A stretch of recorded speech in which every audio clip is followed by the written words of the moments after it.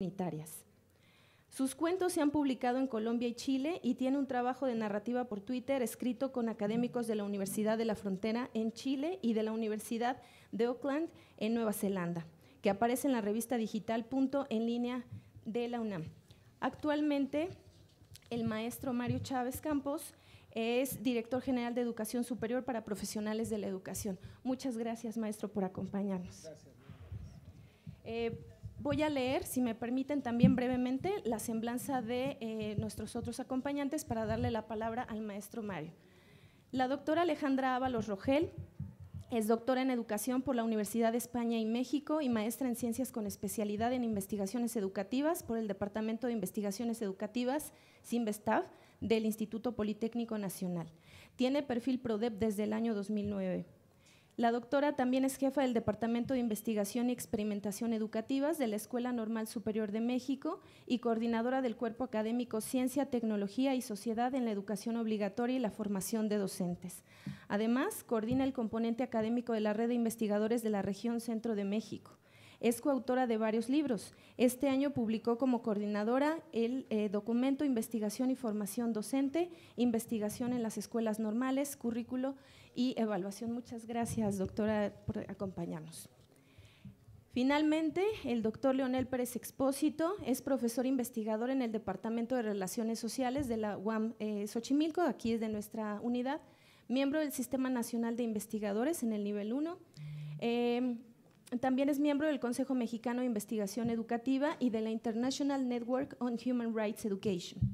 Leonel es doctor en educación por el USLA Institute of Education, em, maestro en métodos de investigación social y sociología por la Universidad de Bristol, Inglaterra, y maestro en ciencias con especialidad en investigación educativa por el Departamento de Investigaciones Educativas DIE del CIMBESTAF, donde es profesor invitado desde el 2013. En el año académico 2015-2016 fue invitado a realizar su estancia postdoctoral como académico visitante en la Escuela de Educación de la Universidad de Harvard. Ha publicado artículos de investigación en revistas nacionales e internacionales y capítulos de libros sobre jóvenes, educación y cultura, educación artística, evaluación del aprendizaje, educación y desigualdad, educación para adolescentes en el sistema de justicia penal y educación cívica y política.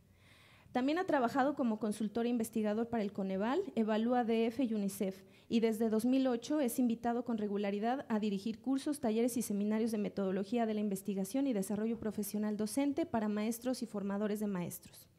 Actualmente coordina el programa para estudiantes de bachillerato Bridge to Employment México perdón, en convenio eh, con la UAM, Colegio de Bachilleres y JJ, y es responsable del equipo de la UAM Xochimilco a cargo de elaborar e implementar una propuesta educativa para adolescentes en el sistema de justicia penal bajo un convenio entre la UAM y la UNICEF. Forma parte del consejo editorial de las revistas especializadas Theory and Research in Social Education, Human Rights, Education Review y Reencuentro, análisis de problemas universitarios.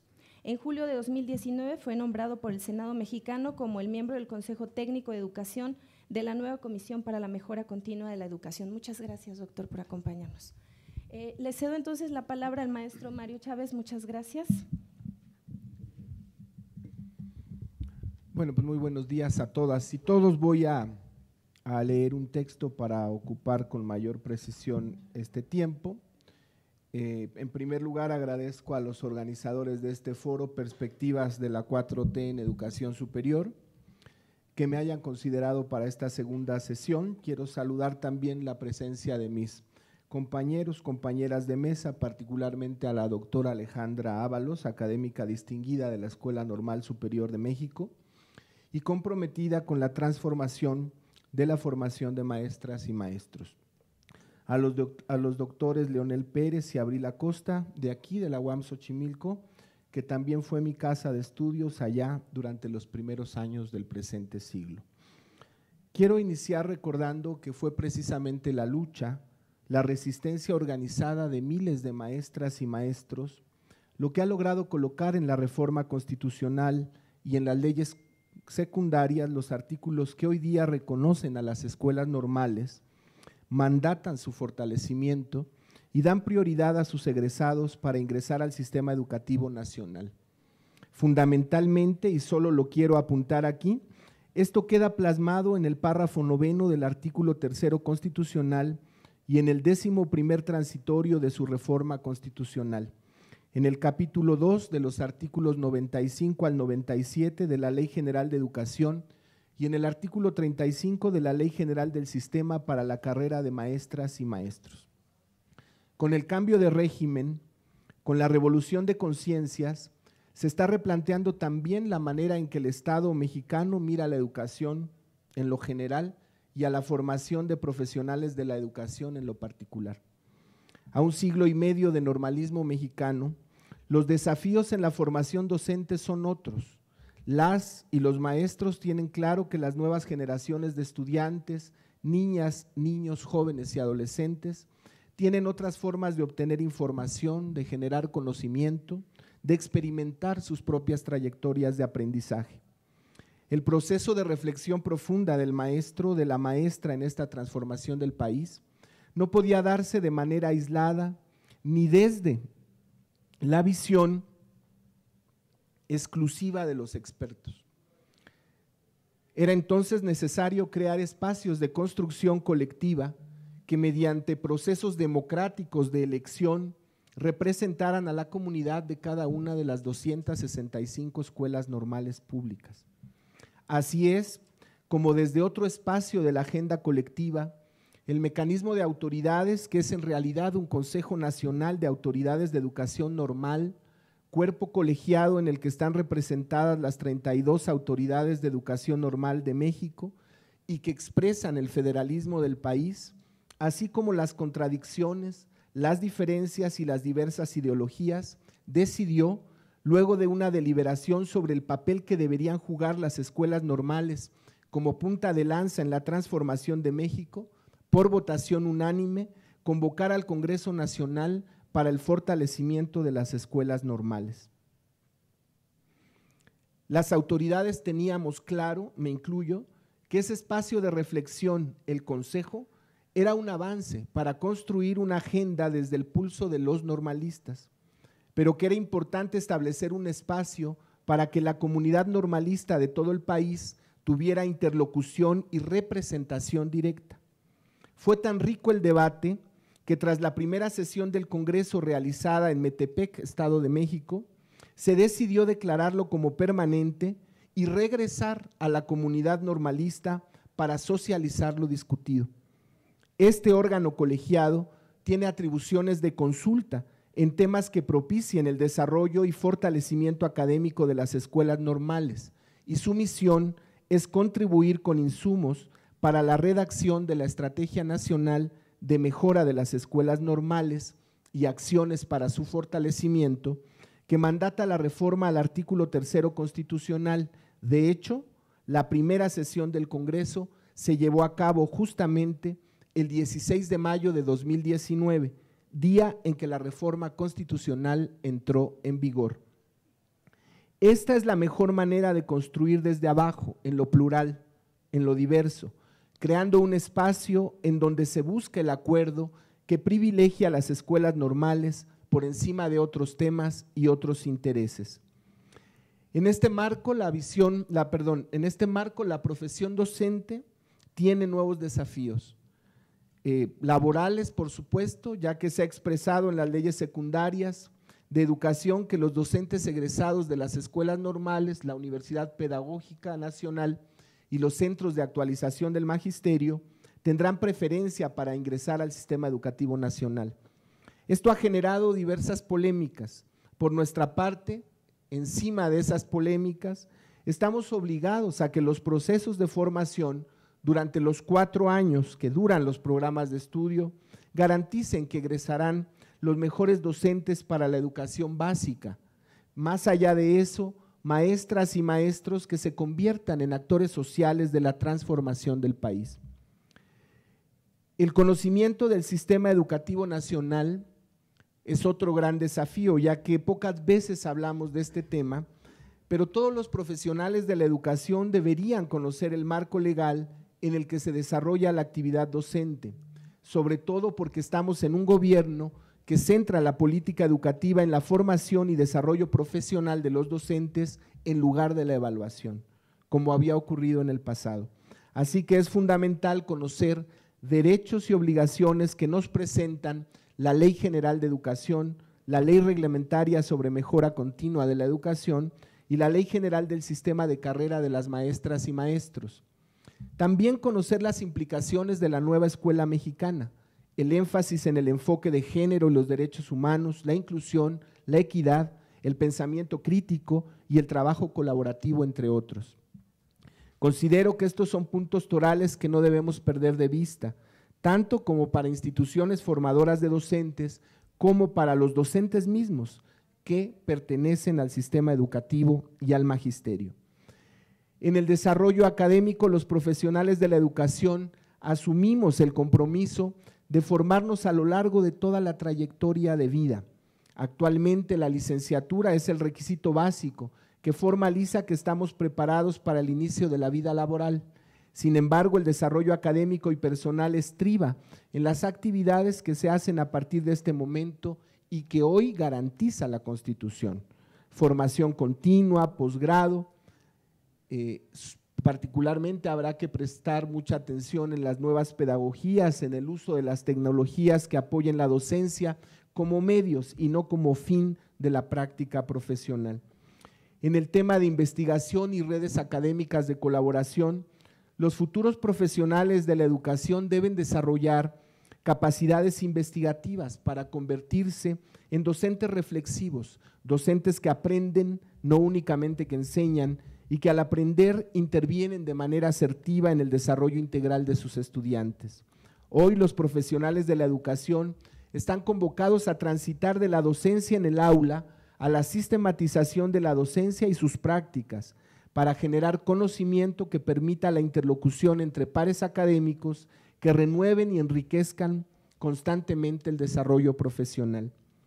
Ya hablaremos de la reducción presupuestal del 40% en términos reales en la asignación para el 2020, pero esa es una batalla que estamos dando desde el Consejo Nacional de Autoridades de Educación Normal y desde las delegadas y los delegados del Congreso Nacional y que estamos seguros que habremos de ganar. Así que pese a eso, el horizonte se percibe promisorio para las instituciones formadoras de docentes y para los profesionales de la educación. Emerge una política educativa que posibilita revitalizar las dinámicas internas y la colaboración interinstitucional. También pone énfasis en el desarrollo de los docentes, pero esto no se logra por decreto, sino por los compromisos que adquirimos todas y todos, quienes sabemos que está en nuestras manos la vida y el futuro de muchas niñas, niños, adolescentes y jóvenes, y las aspiraciones de madres y padres de familia que ponen su confianza en que, después de estar algunos años en nuestras escuelas, su destino será diferente a su origen. Para terminar y volviendo al Congreso, debo decir que ya se han realizado dos sesiones más una en San Luis Potosí y otra en Baja California Sur. Y aquí yo sí quisiera referirme textualmente a la propuesta de los cabos, que toca el tema sobre qué maestra y qué maestro tiene que egresar de las escuelas normales a la luz de la transformación del país. Eh, redactaron las, eh, las y los 250 delegados del Congreso. Respecto al docente que queremos formar para la transformación del país, con fundamento en el artículo tercero constitucional y en el marco de la nueva escuela mexicana, debe de considerarse el carácter local, contextual y situacional del proceso enseñanza-aprendizaje. Asimismo, es necesario recuperar la formación inicial y la función de la docencia como profesión de Estado, además de crear un nuevo modelo educativo para las escuelas normales públicas que contribuya a garantizar un país democrático y de libertades, en todos los ámbitos de la vida pública y sustente un nuevo paradigma educativo que esté a la vanguardia del desarrollo científico y tecnológico, con valores para la convivencia social y ambiental, la diversidad lingüística y cultural, anclada en nuestras raíces nacionales e históricas para la formación ciudadana del presente siglo. La formación inicial de los docentes en las escuelas normales públicas requiere analizar y promover los procesos de actualización y reconstrucción del modelo educativo de la nueva escuela mexicana para resignificar la educación de las niñas, niños, jóvenes y adolescentes con un enfoque holístico e integral que desarrolle la identidad nacional, democrática, equitativa, inclusiva e intercultural, de respeto a los derechos, las libertades y la cultura de paz, para promover los valores humanos, el desarrollo socioemocional y la mejora continua de los procesos de enseñanza y de aprendizaje. Para lograrlo se plantea la recuperación de una pedagogía que posibilite enfatizar en el porqué y el para qué del contenido educativo, en función de contextos y necesidades que reconozcan la importancia de la educación en un contexto global, pero que construya alternativas desde los aprendizajes sociales y la producción de saberes, que considere y recupere otros saberes educativos, desde una perspectiva que sitúe a la pedagogía como el acto reflexivo del hecho educativo y que promueva la formación de un ser humano en una sociedad situada históricamente. En congruencia, se plantea un perfil de egreso que contemple cinco dimensiones, política, personal, pedagógica, psicológica, filosófica y social.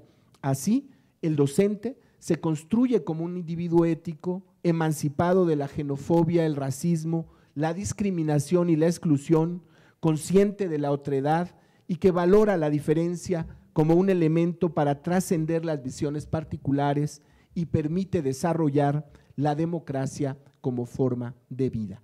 Ahí termina eh, este, esta parte del Congreso Nacional de Escuelas Normales. Para terminar, quisiera también apuntar aquí sobre este Congreso Nacional de Escuelas Normales. De acuerdo al trabajo de Isaías Álvarez García, publicado por primera vez en la Escuela de Educación para Graduados de la Universidad de Harvard el 15 de mayo de 1974, texto que desarrolla un estudio de caso histórico sobre la formación de maestras y maestros de primaria en México durante el periodo 1942-1972, ya han existido otros congresos que fueron convocados en diferentes coyunturas político-educativas y cuya integración surgió fundamentalmente de un acuerdo entre la autoridad y el sindicato. El primer Congreso Nacional de Educación Normal se realizó en 1944 en Saltillo, en Coahuila. El comienzo de este proceso inició con la decisión de introducir un plan de estudios único para las normales rurales que fue tomada esta decisión por el secretario de Educación en 1942. Según Jaime Torres Bodet, este primer Congreso Nacional lo organizaron los maestros, quienes lo invitaron a pronunciar el discurso inaugural. Sin embargo, los maestros y educadores que publicaron las memorias del Congreso afirmaron que este fue convocado por la Secretaría de Educación. Por tanto, la decisión de organizar este Congreso puede considerarse como un desarrollo natural de la unificación de los maestros en el Sindicato Nacional y de las buenas relaciones existentes en ese momento entre los líderes del Sindicato de Maestros y la SEP. Dicho Congreso reunió a 128 delegados, en su mayoría educadores de maestros o administradores y supervisores de normales. Hubo 18 representantes de universidades, incluida la UNAM, 10 delegados oficiales del Sindicato Nacional de Trabajadores de la Educación, cerca de 12 representantes de los gobiernos locales. De acuerdo a la maestra Patricia Hurtado, profesora investigadora de la Normal 1 de Toluca, el segundo Congreso Nacional de Educación Normal se llevó a cabo el 30 de noviembre de 1945 en Monterrey. Asistieron representantes de los departamentos de la SEP y de otras secretarías, así como representantes del CENTE, y la mayoría de los representantes de los gobiernos de los estados y de los entonces territorios. Regresando al apuntado por Isaías Álvarez, la Junta Nacional de Educación Normal realizada en el entonces Distrito Federal en octubre de 1954, también conocida como Tercer Congreso Nacional de Educación Normal, fue organizada bajo el patrocinio de la CEP y la Dirección General de Enseñanza Normal. El cuarto Congreso Nacional volvió a Saltillo, en Coahuila, en julio de 1969, con el propósito de cambiar planes de estudio. Curiosamente, desde entonces se empezaba a incluir al bachillerato previo para cursar la educación normal. Pero esta opinión del Congreso no prosperó. En este repaso a vuelo de pájaro, es necesario destacar que el actual Congreso Nacional, que sería entonces el quinto Congreso Nacional, realizado 75 años después del primero, tiene diferencias notables en cuanto a su convocatoria y a su integración. La más importante es que ninguna autoridad ha participado en el Congreso, más que como facilitadores de los procesos logísticos. No hay participación de los sindicatos, sino que la elección de los 250 delegados y delegadas ha sido realizada por procesos democráticos escuela por escuela y que el Congreso no fue convocado por la SEP, sino por el Consejo de Autoridades y que responde, más allá de un mero cambio de planes y programas, a la construcción de la Estrategia Nacional de Mejora de las Escuelas Normales. Muchas gracias.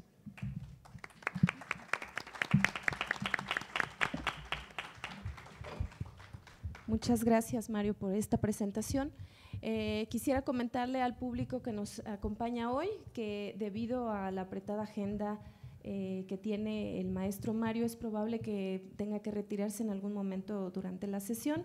Agradecemos mucho el esfuerzo que ha hecho para acompañarnos y para compartirnos estas experiencias. Em, son 30 minutos de presentación. Le daré la palabra ahora entonces a la doctora Alejandra Valos para que nos haga su presentación.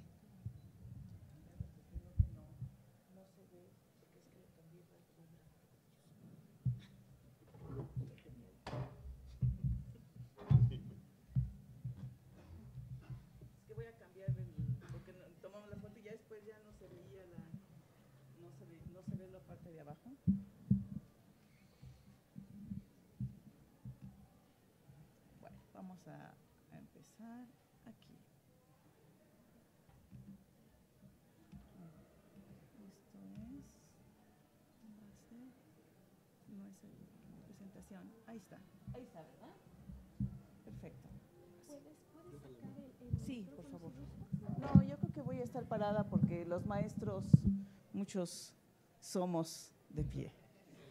Entonces, perdón por la dilación, porque está, me había cambiado, puesto un fondo lindo para tomarnos la foto y ya, ahora mejor blanco, mejor blanco que se ve mejor. Uno que tenga la WAM, claro, uno que tenga la WAM, por eso era, era importante este. Em, vamos a hablar ahorita sobre las políticas de educación superior para profesionales de la educación, continuidad o cambio, que ese es el título que en principio nos, nos había dado, doctor nos había dado la maestra Abril y entonces vamos a iniciar entonces con, eh, con esta presentación. Antes de iniciar, eh, quisiera yo eh, decirles, vean unas fotos que están ahí de, esta, los fenómenos mediáticos nos han invadido de, imágenes y de mensajes. Y quisiera yo que esta propuesta nos ayudara a tomar distancia de estos fenómenos mediáticos que aunados a este desprestigio de la profesión docente, nos han llevado a pensar a las normales en blanco y negro. O somos un semillero de revoltosos que eh, bloquea las calles de las ciudades y vándalos que hacen pintas y demás, o somos víctimas de una sociedad deteriorada.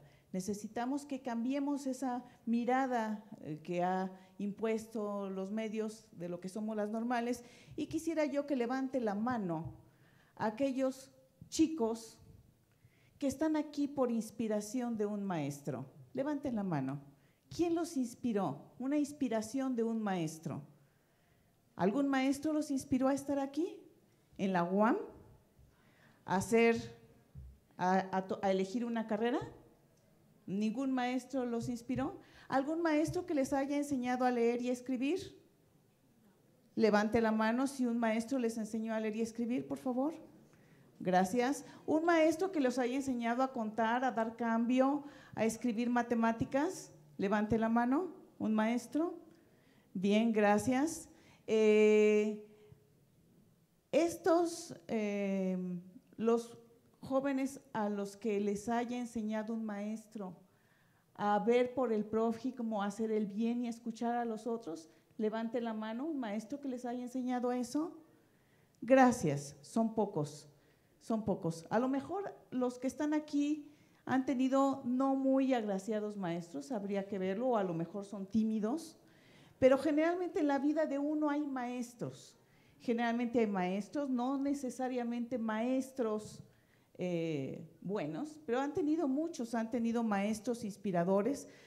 Levante la mano maestros que no han sido inspiradores y ustedes están aquí en contra de estos maestros, maestros de matemáticas que los maltrataron, por ejemplo, y entonces dijeron, no quiero saber nada de, de matemáticas, por eso estoy aquí. Levanten la mano que tuvieron maestros no inspiradores. También hubo maestros no inspiradores que están aquí por maestros no inspiradores. De todas maneras, los maestros conforman nuestras vidas y le dan sentido a esto. Eso, eso es un hecho. una buena parte la tercera parte de nuestras vidas las pasamos en las aulas. Entonces esto hace que nuestras vidas también dependan de esto, ¿no? de, esta, de esta idea. Los maestros es algo importante. ¿Qué propone la primera pregunta que nos hacen? ¿Qué propone la 4T para la formación de profesionales de la educación superior? En, las leyes, desde el artículo tercero de la Constitución mexicana, aparece el nombre escuelas normales. No aparece el nombre de Guam. Es un hecho. Si ustedes leen, no dice Guam Xochimilco o no dice Guam, dice escuelas normales.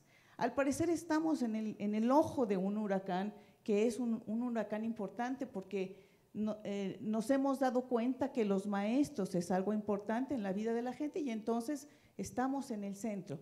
Y entonces nos dicen que el Estado va a fortalecer en este marco de esta cuarta transformación, de esta modificación al artículo tercero, el Estado va a fortalecer las, a las escuelas normales de manera especial, va a determinar planes y programas para ellos y va a haber leyes en materia de educación superior, donde se va a establecer, como lo mencionaba ayer la, doctora Erika, vamos a establecer justamente a compartir el sistema de educación superior con el resto de las instituciones de educación superior que hay en, nuestro país. Entonces, y el Estado va a definir desde este, desde este marco los planes y programas.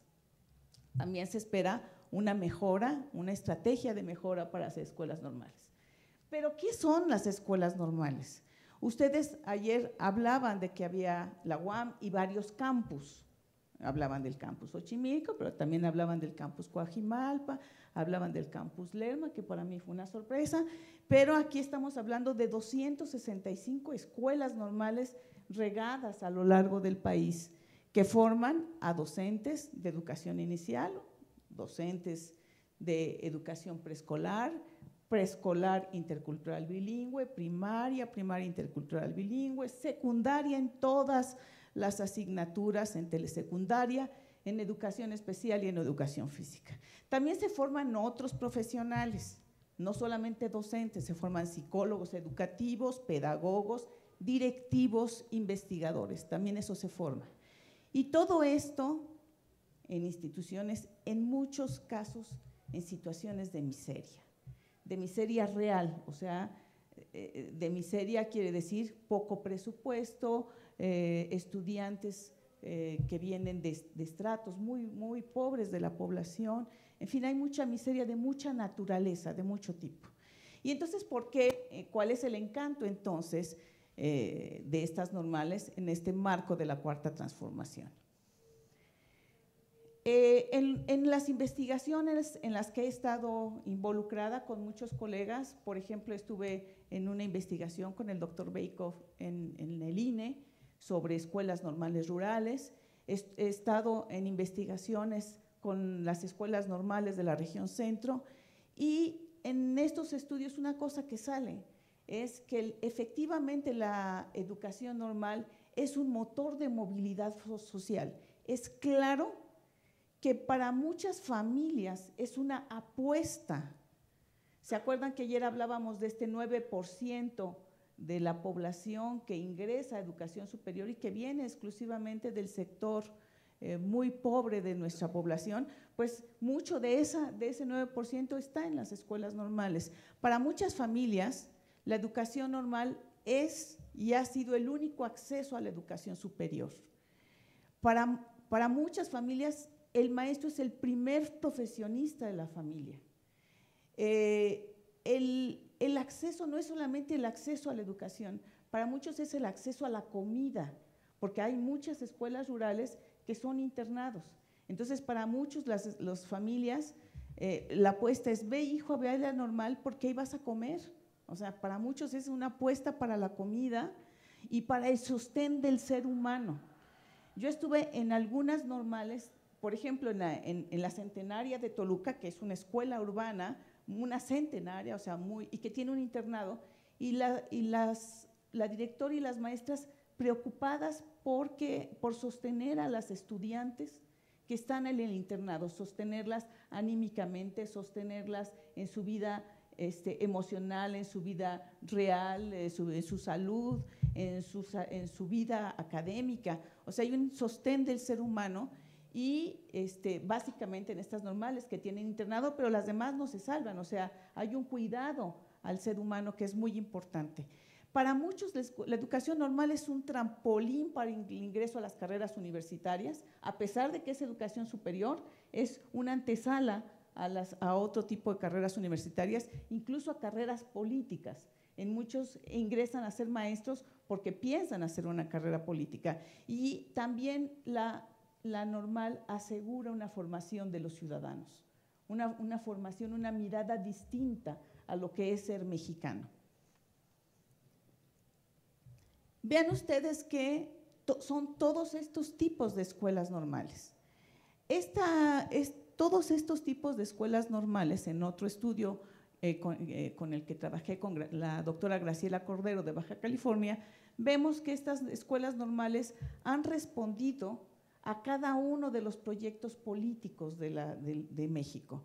Es decir, por ejemplo, tenemos a las beneméritas y centenarias, que son, tienen más de 100 años, y respondían justamente a un proyecto político positivista, liberal, de la escuela laica, en fin, que respondiera a esto.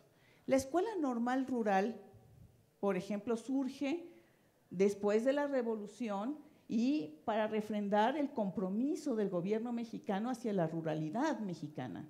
Entonces, cada, cada uno de los gobiernos va eh, estableciendo un proyecto político y junto a este proyecto político de construcción de ciudadanía mexicana están las escuelas normales y se crean eh, exprofeso cierto tipo de escuelas normales. Vean ustedes que hasta el final tenemos lo que son los institutos de formación, que son los más recientes, de más reciente creación y que son los que eh, se crearon en el sexenio pasado. Entonces, aquí encontramos una primera tensión porque si bien la escuela normal ha respondido, incluso ahorita, ahorita con lo que nos acaba de decir el doctor Chávez, responde incluso hoy al proyecto político. O sea, ahorita las escuelas normales estamos respondiendo a la cuarta transformación con hechos. No estamos esperando eh, leyes de la educación superior y esto. Ya estamos actuando al respecto. Estamos justamente respondiendo al proyecto político. Pero y aquí hay un, drama que hemos tenido vivido las escuelas normales. O bien el proyecto político cambia, por ejemplo, estoy eh, pensando en las escuelas normales rurales, que se trataba de apoyar a la ruralidad, y de pronto el proyecto político con expropiación petrolera da la vuelta y gira de la ruralidad a lo que sería la tecnologización de lo que es el Estado moderno mexicano. Entonces, abandona el proyecto de la ruralidad y se dirige a, un, a otro proyecto de, tecnología. Entonces, cambia el proyecto político y se abandona y se desdeña y se olvida a la escuela normal rural. Y entonces, veamos otro ejemplo, que es el, ejemplo de ahorita. Ayer lo veíamos, cómo el gobierno actual desdeña fuertemente a los investigadores. Y ayer la maestra decía la maestra, la doctora Angélica, decía, nos están desdeñando, ¿qué pasa? Hay una mirada, no, no, hay, no hay una comprensión de lo que significa la investigación actualmente. Y los institutos de, de, formación docente se crean pensando en que haya investigadores, que haya docentes, formadores que investiguen su propia práctica, que reflexionen y demás. Entonces eso ha hecho que entonces haga que los institutos de formación ahorita nos vean a los investigadores de otra manera, porque el proyecto político se está cargando de otra manera. O sea, hay fuertes tensiones entre qué normales han surgido y cuál es el proyecto político que se está eh, trabajando, doctor. Entonces, veamos ahorita cómo estamos respondiendo la escuela. Ya el doctor habló de este Congreso Nacional para el Fortalecimiento y Transformación de las Escuelas Normales Públicas o sea, regresar a la comunidad normalista y eh, ya él en cada, en cada uno de estos aspectos que se tuvo, el congreso que se tuvo en cada escuela. Y cuando les digo en cada escuela, en nuestra escuela fue en un turno, alumnos y maestros nos reunimos para trabajar y discutir en cada uno de estos puntos y después en todas las especialidades y luego en los dos turnos y luego en el nivel de la Ciudad de México y luego y así sucesivamente se iban eh, recomponiendo, transformando, creando cada una de las propuestas eh, sobre estos congresos primero estatales y luego nacionales, que como él decía, se dieron en estos tres estados. Les doy un ejemplo de, los, de, los, de lo último eh, que, se, que se discute en el Congreso de San Luis Potosí que se, y que pasa al, a lo que sería Baja California, por ejemplo, los acuerdos en términos de la autonomía. El doctor abundó, por ejemplo, en lo, que es los, las, lo, del docente que esperamos. Yo ahorita muestro lo que se discutió en términos de autonomía. Los colegas dividen esto en ámbitos, es decir, la pregunta es, ¿necesitamos autonomía en las escuelas normales así como ustedes, la UAM, tiene autonomía?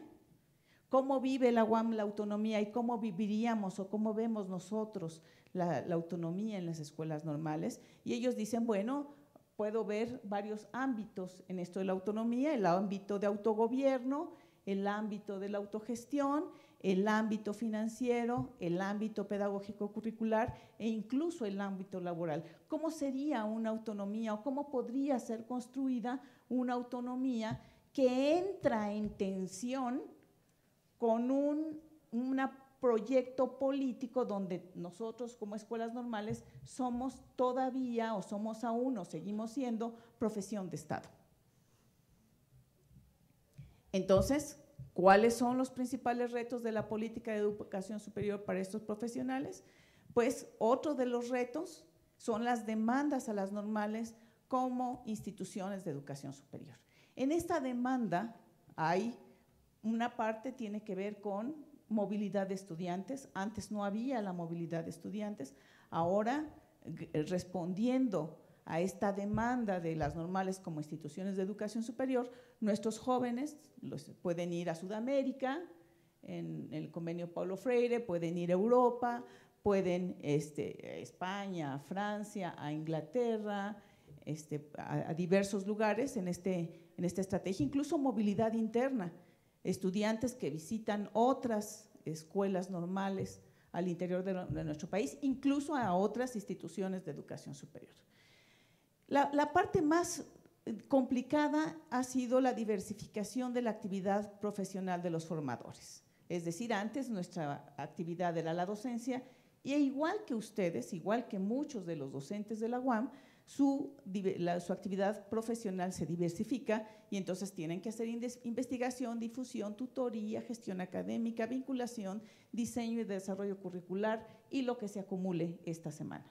Entonces, eh, organizar pláticas, como en el caso de Abril, dar formación de docentes, ya la quiero comprometer para que nos dé un curso de Atlas T, en fin, o sea, además de lo que se acumula, ser con miembros de los consejos nacionales, entonces ahí lo que se acumule en esta semana. Entonces, esta diversificación de la actividad profesional es complicada porque nosotros no la teníamos como en el centro de nuestra profesión docente y tenemos que hacerlo. Y el otro, el otro drama es la práctica de los sistemas compensatorios en el mercado de los capitales culturales. O sea, esto de te voy a evaluar con CIES y voy a ver si efectivamente este, estás haciendo lo que tienes que hacer y además págame para que yo te evalúe. Entonces esa es una cosa que es como dramática, ¿no? Y además, nosotros en la Ciudad de México, además, si tú sacas eso, si ya te, te puse 10, entonces te mereces el premio de darte un sobre, un sobre dinero, un dinero extra. Y entonces en el caso de nosotros, pues ya nos evaluaron, sacamos 10, pero ¿qué creen? Son de la Ciudad de México, no les toca nada, ¿no? O sea, sin recursos en, en la Ciudad de México. El PRODEP, que para las, para las universidades, como por ejemplo para ustedes, funcionó muy bien, o sea, podían irse al extranjero a hacer su posgrado, podían hacer investigación pagada, las eh, revistas indexadas también financiadas, y resulta que nosotros no tenemos esos recursos, los recursos de PRODEP no llegan. El SNI, para entrar al SNI es complicado, es difícil, y habría que ver cómo eh, exactamente cuál es el soporte para hacer esto. Doctor. Sin embargo, o sea, hay otra tensión. Frente a esto, hay una respuesta de los formadores de los formadores. Y entonces, ¿qué creen? Pues ahora sí que nos empoderamos, nos volvimos poderosos al momento de, establecer la lucha con esta diversificación. O sea, hay un empoderamiento de los docentes desde la investigación educativa y entonces esto se, se ve visible, se hace visible mediante el Congreso Nacional de Investigación Educativa, o sea, lo que llamamos el CONICEN, donde, este, que es un formato donde nosotros los formadores nos encontramos y eh, iniciamos una discusión acerca de esta investigación que estamos realizando e incorporamos a los estudiantes en la iniciación científica. O sea, vamos como pares, estudiantes y maestros, a este formato que se llama el Congreso. Y entonces hay un reconocimiento del tipo de producciones. Este estas son nuestras producciones. Chiquitito, ahí lo pongo pequeñito, investigación básica. O sea, apenas estamos haciendo nuestras teorías de la formación docente, cómo aprenden los estudiantes, cómo hacer que los maestros de matemáticas seamos más empáticos, cómo incorporar Science, Technology, Engineering and Mathematics en las clases, en fin, o sea, hacemos nuestras investigaciones básicas pequeñitas, pero está ahí, pero vean el resto de la, del resto de la sábana. O sea, hay desde sistematizaciones de la práctica docente, intervención, docencia reflexiva, investigación cualitativa, todo el desarrollo educativo, todo lo que es diseño curricular, todos los dispositivos para que ustedes aprendan cómo enseñar a leer, a discutir, a argumentar, a analizar. O sea, todos estos dispositivos que nosotros sí nos queda claro. Entonces aquí hay una sábana de lo que sí nos queda claro a nosotros y el chiquito, la investigación educativa, digamos en este caso, investigación básica, que sí le queda claro, por ejemplo, a la UAM que sí les queda claro a ustedes. Y hay una parte de intervención que también a la UAM le queda claro, una investigación social que le queda claro a UAM y que es un momento, es un lugar donde podemos o podríamos discutir bien. Y entonces, otra segunda atención, entonces también este, las prácticas del diseño curricular. De pronto, la posibilidad de que en acompañamiento con lo que serían los órganos del, federales de elaboración de currículum, la participación. Y entonces la participación ha sido fuerte para la licenciatura, para la elaboración de programas de licenciatura del Plan 2018 y se avecina ahorita, es un reclamo de los colegas, participar en la elaboración de los planes de estudio 2021 como ven, cuando preguntamos cuál es la posición de las normales en la cuarta transformación, ya nos vemos haciendo programas para los planes 2021 y para los posgrados de escuelas normales, que ah, lo platicaba yo la semana pasada con Baja California, piensan hacer posgrados regionales porque dicen, tenemos dos SNI solamente, cinco doctores en Sinaloa, cuatro doctores en Baja California, vamos haciendo un posgrado regional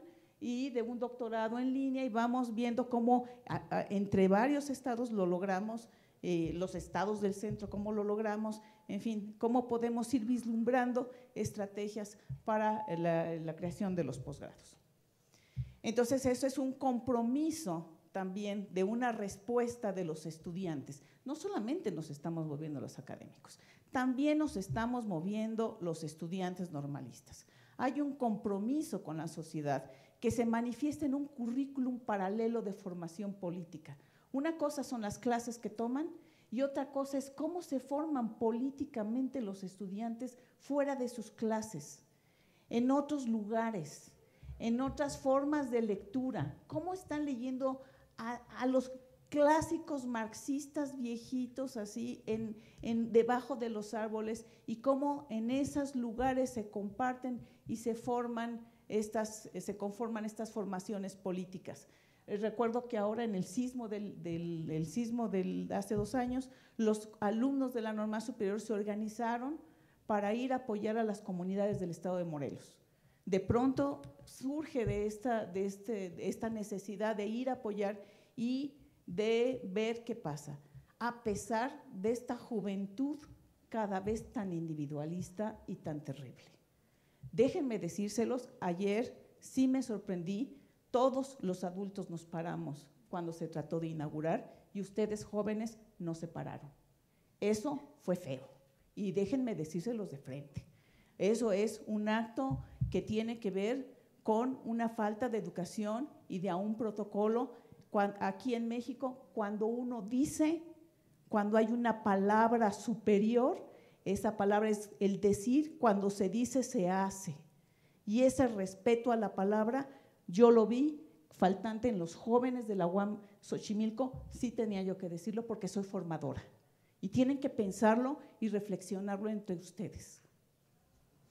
Y bueno, después entonces se reitera el compromiso, qué perspectivas, estoy terminando, qué perspectivas se, vislumbran, pues se reitera el compromiso de que la docencia es una profesión de Estado y que el Estado y que también nosotros como docentes tenemos que acompañar la formación de ciudadanos respetuosos y respetuosos entre sí, con otras miradas, como lo había mencionado el doctor Chávez. Reiteramos la necesidad a partir de las leyes secundarias de la oferta de una educación normal que permita justamente satisfacer estas demandas de, educación de niños y jóvenes. Se espera, a diferencia de esta discusión que tenía ayer el rector acerca de la apertura de lugares en el turno vespertino de la UAM Xochimilco, nosotros aquí hay una atención, necesitamos ver cuál es la demanda de educación básica ahorita que el cono poblacional se invierte y que hay menos niños entre nosotros. Entonces necesitamos ver cómo se garantiza estas plazas a los estudiantes en este cono invertido. ¿Por qué no pensar en nuevas formas de docencia? Porque también los ancianos necesitamos docentes, también somos aprendices. Necesitamos ver estos lugares donde se aprende, donde aprendemos los ancianos, donde aprendemos los jóvenes, donde aprendemos la cultura financiera, a, guardar nuestro dinero y a manejarnos, donde aprendemos cosas. Necesitamos mirar y crear las miradas profesiográficas distintas de lo que es ser maestro. Necesitamos contribuir a esta mejora nacional de las escuelas normales. Entonces, la, educación básica necesitamos identificar que aun cuando no tenemos la ley reglamentaria para la educación superior, nosotros ya empezamos, ya empezamos junto con nuestras autoridades a hacer cosas. Y ese es el compromiso. Bueno, gracias.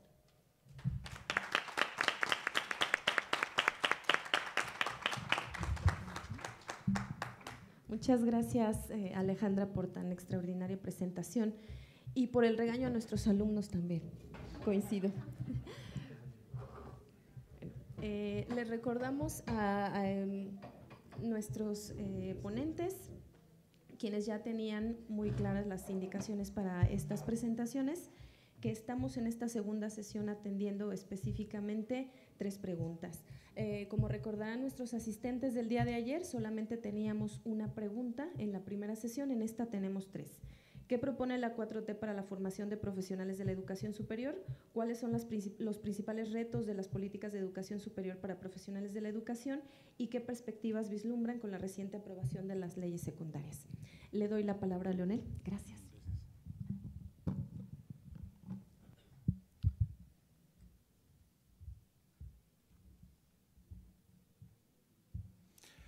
Buenas tardes. Eh, gracias, Abril, por la invitación a este evento. Eh, saludo a Mario, a Alejandra. Eh, me da mucho gusto estar en la misma mesa con ustedes. sobre todo porque yo no soy especialista en educación normal, pero vengo a hablar mucho desde mi experiencia trabajando con normalistas y con formadores de formadores en distintas escuelas normales de la Ciudad de México y del interior de la República, particularmente en la formación para la investigación y sobre todo para las preguntas 2 y 3 voy a abordar un poco mi reflexión desde ahí. Eh, la primera pregunta que nos plantea Abril es sobre qué propone la 4T. Creo que Alejandra y Mario han hecho una puntualización muy precisa de lo que se está proponiendo en esta nueva reforma. Yo pensaba como en sintetizar esta propuesta que desde mi perspectiva la, nueva reforma educativa eh, plantea una revalorización del trabajo docente, de la formación específica para ser docente y de la formación docente como una profesión de Estado que por lo tanto tiene que tener un nivel de unificación. Y, esto, como señaló Mario, eh, ha suscitado muchas críticas importantes, porque esto se ha traducido en dar preferencia a los estudiantes que egresan de las normales, de la UPN y de los centros de actualización de maestros, para que ocupen una plaza eh, en el servicio, en, la docencia profesional. Eh, y yo quisiera defender un poco esta idea, em, porque ha sido muy atacada. Por una parte, apelo a la experiencia internacional. No, em, la reflexión sobre la, la, experiencia internacional y la investigación comparada ha sido tildada un poco de neoliberal y conservadora, pero es importante desde mi punto de vista recuperar la experiencia internacional eh, en nuestra reflexión. Y si comparamos algunos sistemas educativos en países tan distintos como Finlandia, Hong Kong, Singapur y Cuba, vamos a, encontrar que efectivamente em, son sistemas educativos que han logrado éxitos importantes y un factor muy importante es que no dejan que cualquier persona entre a la docencia todo aquel que va a ser docente tiene que recibir una formación específica. Entonces, la crítica que viene muchas veces de quienes aprecian la comparación, quienes aprecian los éxitos y de los países como los que acabo de nombrar, es importante que consideren que estos países tienen un modelo de este tipo en donde hay una preferencia y es una obligación que las personas que van a tener una responsabilidad docente tengan una formación específica y que esa formación específica está dentro de un sistema unificado estatal y público. Eh, otro punto importante para argumentar sobre esta decisión es que no tenemos evidencia concluyente. La crítica a esta decisión plantea que pues, está muy bien todo lo que señaló Alejandra, todos los beneficios que tiene la educación normal para los estudiantes que estudian ahí, pero ¿qué hay del derecho de las niñas y los niños a, la educación y el derecho que tienen a tener los mejores maestros en sus escuelas? Y esta crítica parte del supuesto o asume el supuesto que eh, el maestro eh, de calidad es aquel que ha sido aprobado en el examen único que tenía la reforma previa. Que independientemente de dónde vengas, el examen, si fuiste considerado como idóneo, entonces ahí está la prueba de que tú independientemente que hayas estudiado este, biología este, y, quieres dar clases, ya con el examen, con eso basta, eres un buen maestro. Em, por una parte tenemos que contemplar que no tenemos investigaciones en México que demuestren que aquellos maestros que pasaron ese examen son realmente los maestros que mejor se desempeñan en el aula. Y no tenemos investigaciones serias que, nos, que hayan hecho estudios controlados con maestros que vienen de formación específica docente de las normales, de las UPNs, con aquellos que no la tienen y evaluar si realmente hay un desempeño distinto.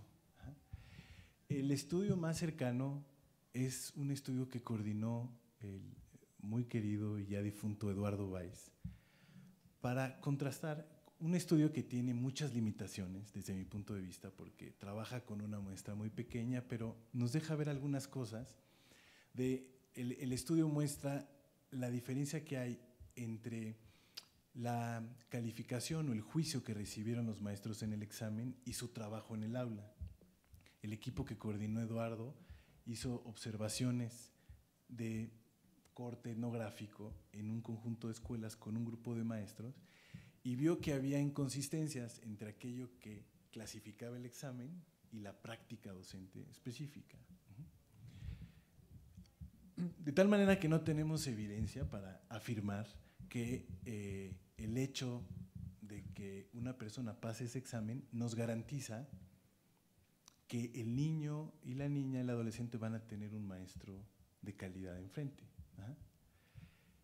Tenemos estudios similares, muchos de los con los que yo estoy familiarizado, hechos en Estados Unidos, que comparan maestros que han estado bajo las iniciativas de Teach for America o Teaching Fellows, que son propuestas que trabajan con eh, estudiantes de educación superior muy privilegiados que quieren destinar dos años de su vida a la docencia, los agarran, les dan un curso de dos semanas y, lo mandan, y los mandan a las escuelas.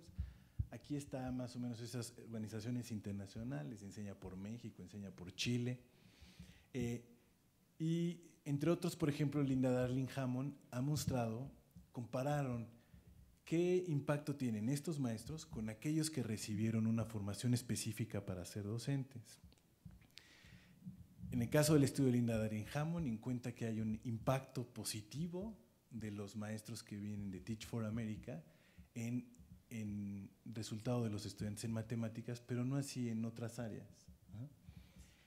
Encontramos otros trabajos que eh, han encontrado un impacto positivo de este tipo de maestros en rendimiento escolar en educación media superior. Y otros que en educación básica han encontrado que los maestros de formación tradicional tienen un mejor desempeño que los que vienen de estas iniciativas. En suma, en el caso estadounidense, hay, no hay evidencia concluyente. De tal manera que si no hay evidencia concluyente, pues es, quiero poner el símil. Mm, el más radical, ¿no? Este, usted se va a operar y le dicen que cualquier persona que pase un examen lo puede operar. ¿ah? Este, la, opción que no hay evidencia concluyente del que que pasa el examen es, es realmente el mejor cirujano. Se lo dicen, pero usted tiene que escoger. ¿Quiere al que pasó el examen que estudió contaduría o quiere al que estudió la licenciatura en medicina. Bueno, pues muy probablemente todos opten por el que estudió medicina, aunque no haya evidencia concluyente.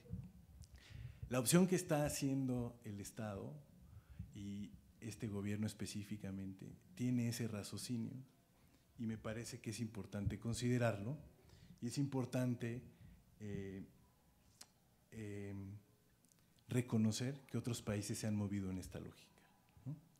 Eh, el otro punto importante es tener un sistema estatal unificado.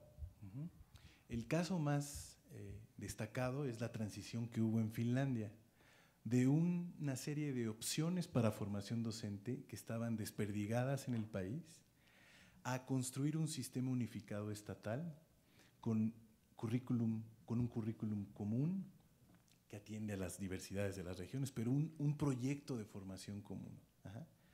Esta idea de un sistema integrado está en Finlandia, está en Singapur, nuevamente está en Cuba. Entonces, eh, me parece que lo que propone la cuarta transformación es un entorno de revalorización de la formación específica del docente y de las instituciones del Estado que fueron creadas para ello. Y está bien lo que propone. ¿ah? Por lo tanto, ¿cuál es el primer reto desde mi perspectiva? Pues demostrar eso. Porque bueno, ahí está el plato puesto. ¿no? no hay evidencia concluyente, hay otros países con experiencias exitosas, estamos apostando por esta vía, pero tenemos que emprender, hay un llamado también a los investigadores, tenemos que emprender investigaciones que nos ayuden a tener mejor evidencia de qué gana, eh, cuál es el impacto que hay en el aula con los niños de un profesor que recibe una formación, en, este caso en una escuela normal, de quien no la recibe. El primer reto, ya lo señaló Mario, pues es ese, en un tiempo muy corto.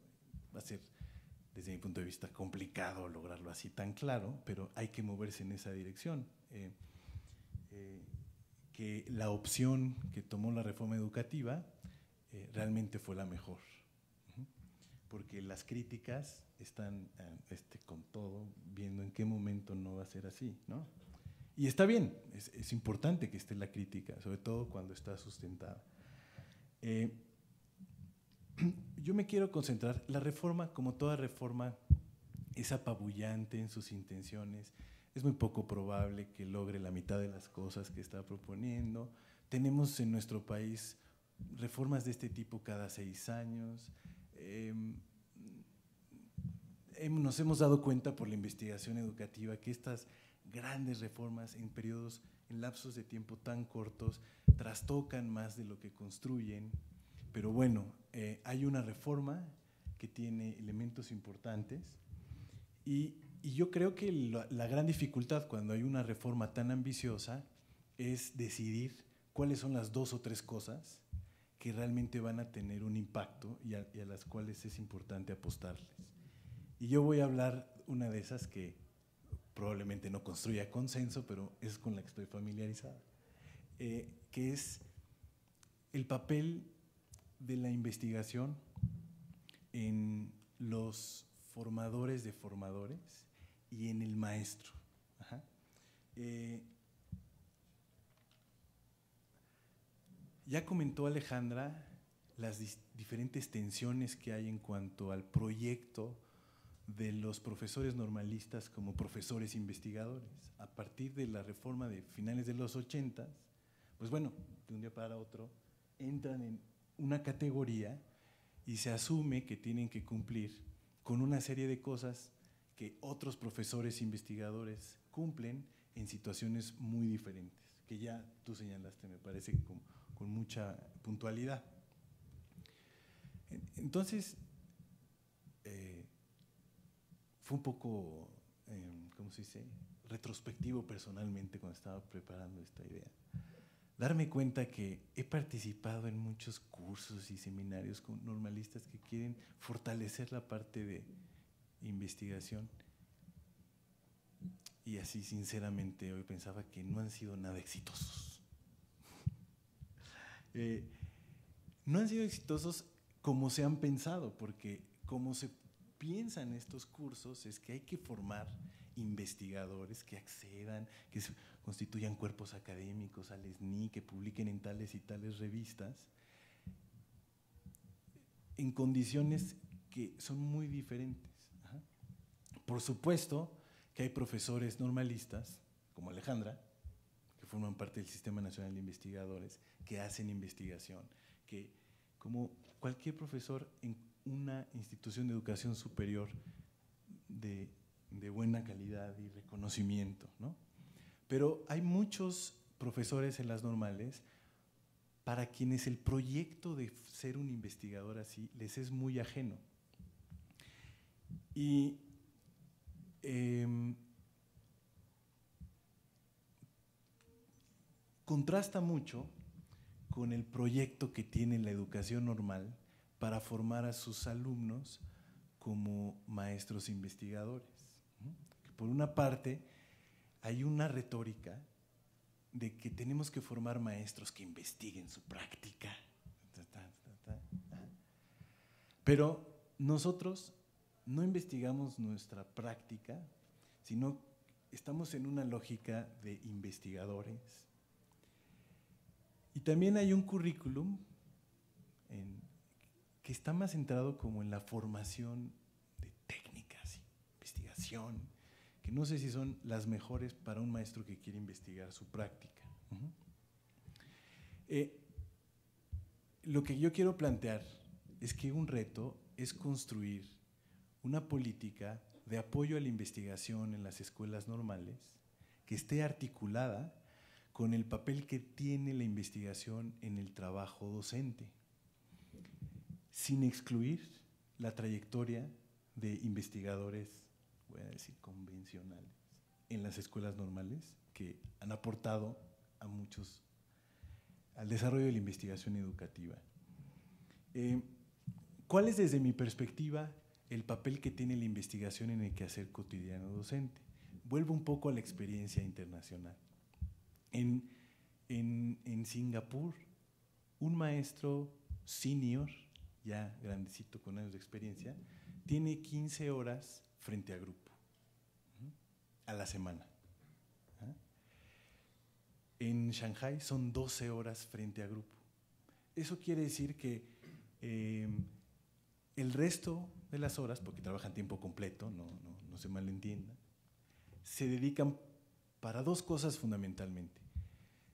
Para formar a los nuevos maestros dentro de la escuela y para el desarrollo profesional de los docentes, en donde se incluye los equipos de investigación.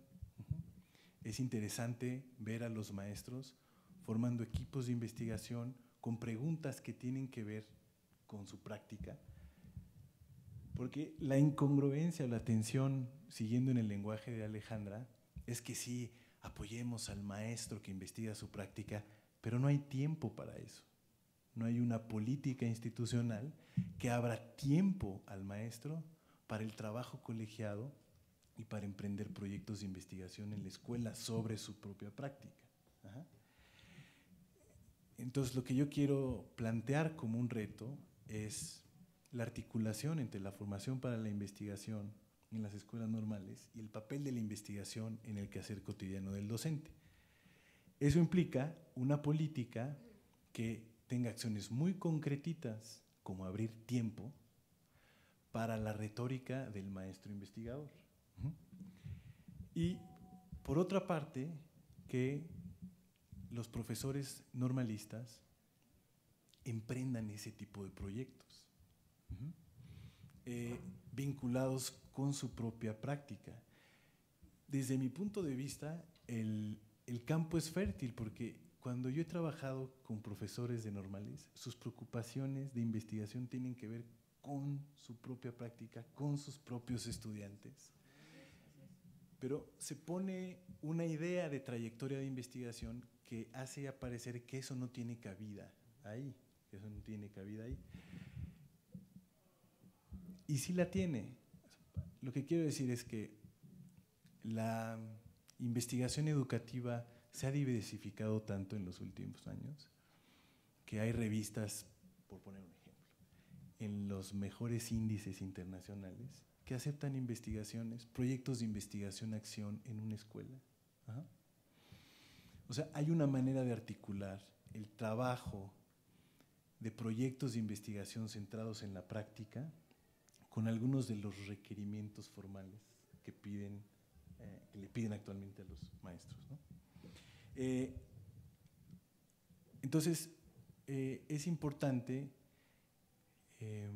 liberar desde mi punto de vista al profesor normalista de tareas que no tienen un impacto en la formación de los estudiantes y que muchos de los profesores normalistas, su autoconcepción es fundamentalmente enfocada a la formación de maestros. Y la investigación puede tener un papel importante en ese proyecto, pero ahora quita tiempo, desarticula la tarea del... Porque la idea del profesor investigador en la institución de educación superior es una tarea que siempre se ha defendido que es articulada la docencia y la investigación. Bueno, em, ¿qué opciones abren las leyes secundarias para este proyecto? Desde mi punto de vista, eh, una ley importante no, es la ley sobre la mejora continua de la educación. Eh, una característica de la reforma educativa es desviar la atención de la evaluación y centrarla en la mejora. En oposición al gobierno anterior, que la centraba en la evaluación. Por más que se decía que era evaluar para mejorar, el énfasis estaba en evaluar, para quién sabe qué, pero es importante evaluar. Y ahora, bueno, es hasta raro el nombre, ¿no? Hay una ley para la mejora continua de la educación. hay que hacer una ley reglamentaria para dar a entender el peso que tiene la mejora frente a la evaluación. frente a la evaluación. Y yo considero que la idea de la mejora continua abre espacios, o más bien requiere de un proyecto de investigación como, el que he planteado anteriormente. Para que haya mejora continua en las escuelas y en las escuelas normales, tiene que haber investigación vinculada con el contexto específico. No va a haber mejora continua si un grupo de expertos se reúne y plantea directrices para que todo el mundo la siga. Va a haber mejora continua cuando se articulen grupos de trabajo de maestros en las escuelas que investiguen los problemas de sus escuelas y a partir de los resultados de su investigación generen proyectos de intervención que contribuyan a mejorar algunas dimensiones que ellos consideren importantes. Y lo mismo en las escuelas normales. Eh, por lo tanto, em, creo, tratando de sintetizar las tres preguntas, que la reforma ha puesto un entorno ideal para em, fortalecer la educación normal y la formación específica de maestros. Que un reto entre los muchos que hay es tener una política adecuada de fortalecimiento a la investigación en las escuelas normales, que esté articulada con el papel de la investigación en las escuelas y que las leyes secundarias abren un espacio para eso y que hay que, hay que aprovecharlo y hay que articularlo. Gracias.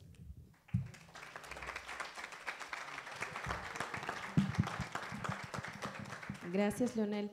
Agradecemos a los tres ponentes que nos acompañan en la mesa. Y antes de pasar a las preguntas eh, para dar el micrófono al público, quisiera brevemente hacer una especie de relatoría respecto a los temas que han tocado de este lado. Eh, Mario ha avanzado en el reconocimiento de este, esta nueva reforma, este proyecto desde el gobierno actual, dirigido desde eh, la llamada Escuela Nueva a un intento de fortalecer o privilegiar la formación sobre la evaluación, también eh, conducirnos al ejercicio docente y a la reflexión y sistematización de la práctica docente y no solo, digamos, la práctica docente en el aula de forma aislada. También mencionó, aunque brevemente, el tema de la reducción del financiamiento, que estoy casi segura que puede ser un tema de interés para el público. Y finalmente, eh, señaló el contexto eh, en el cual históricamente hemos visto eh, crecer el Congreso específicamente para eh, los profesores normalistas, en el que he tenido oportunidad también de colaborar y agradezco mucho la oportunidad, Mario, que, me han dado para participar. Em, en el caso de Alejandra, pues ha tratado de responder a las preguntas planteadas desde el reconocimiento de la reforma al artículo tercero, el contexto de las escuelas normales, sus condiciones institucionales y los retos que representa eh, esta tensión entre el modelo, el modelo, digamos, político o de gobierno respecto a las condiciones de contexto que viven, a veces muy desfavorables, muchas de nuestras escuelas normales. Eh, también tocó el tema de la autonomía y una segunda tensión, que es la respuesta a los normalistas que afrontan este contexto y por supuesto también este modelo político desde sus propias prácticas y también desde su, desde su lucha, no solo en el ámbito de los profesores, también con una participación activa de los estudiantes. En el caso de Leonel, nos ha dado un contexto eh, me parece muy interesante respecto a la importancia de la formación docente, eh, las pruebas no concluyentes respecto a la relación entre la formación específica en el contexto de, los formadores de, profesores y otro tipo de profesionales que se interesan en la práctica docente. También nos ha hablado del reto de lograr los objetivos de la nueva reforma de este gobierno, eh, dadas las condiciones, eh, el tiempo corto incluso, en el que se proponen algunos de los objetivos sumamente ambiciosos, y ha, bueno, ha concluido eh, relatando su perspectiva respecto a qué modelo podría privar para que los normalistas en su contexto realicen investigación, dado el modelo homogéneo del que también ayer ya se habló en esta mesa. Bueno, pues le damos entonces la palabra al público para que pueda plantearnos sus preguntas. Tenemos una, dos personas, tres, cuatro. Eh, ahorita nos van a ayudar con el micrófono. Eh, un momento, por favor. Eh, quisiera agradecer las aportaciones de todos ustedes y yo creo que el, poner, eh, digamos, la atención en las normales es muy importante porque ahí está la formación docente. Solamente quería yo mencionarles que hay un caso de éxito de un maestro, me parece que fue en Tamaulipas, que aplicó métodos lúdicos y sacó uno de los mejores lugares en, la, en las pruebas. ¿sí? Entonces, a mí eh, me interesaría puntualizar en dos aspectos. Ayer vimos que uno de los lemas de la nueva reforma educativa es aprendizaje para todos durante toda la vida, que es un lema tomado de la UNESCO, literalmente la UNESCO. Para lograr eso es indispensable el aprender, aprender si no se les da desde niños y hasta los posgrados y postdoctorados y se sigue este, trabajando sobre esa competencia genérica de aprender a aprender, es muy difícil que se logre ese, ese lema, ¿sí? Porque lo que vamos a hacer es enseñarles a pescar, no a darles el pescado, ¿no? Entonces ellos, aunque salgan de las aulas, van a ser estrategas. Bueno, y la otra es la falta de aplicación de métodos lúdicos, ¿sí? que son muy eficientes. Los métodos lúdicos, eh, hay varios en donde está, por ejemplo, la neurociencia cognitiva, ¿sí? que tiene, estamos ante nuevas fronteras para el aprendizaje, porque todo debe estar centrado en el estudiante, en el que aprende. ¿sí? Y no se han retomado ni tampoco la teoría de las inteligencias múltiples de Howard Gardner.